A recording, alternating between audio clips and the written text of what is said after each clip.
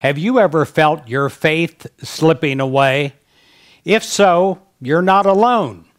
Life is a series of successes and also failures, celebrations and also disappointments, joys but also sorrows. But even when you feel down and your faith reserve seems like it's completely empty, you can feed your faith, my friend.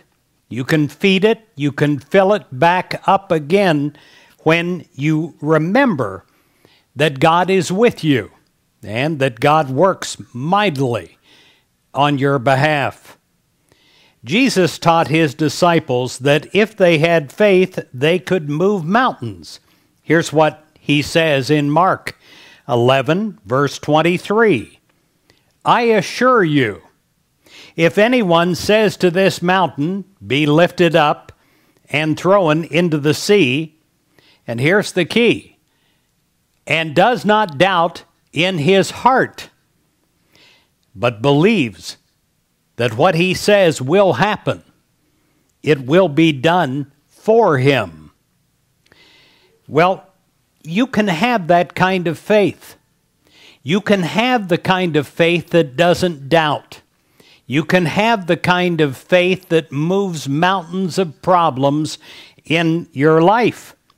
When you place your faith, your trust, your life in God, and when you realize that everything is in God's hands, you'll be amazed at the marvelous things that come to pass that God can do for you, that God can do with you, that God can do through you.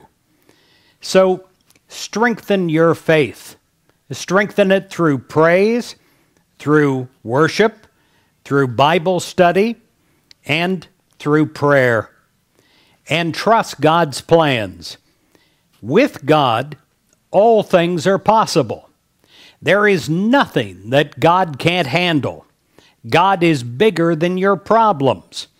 And God stands ready to open up a world of possibilities to you when you have faith.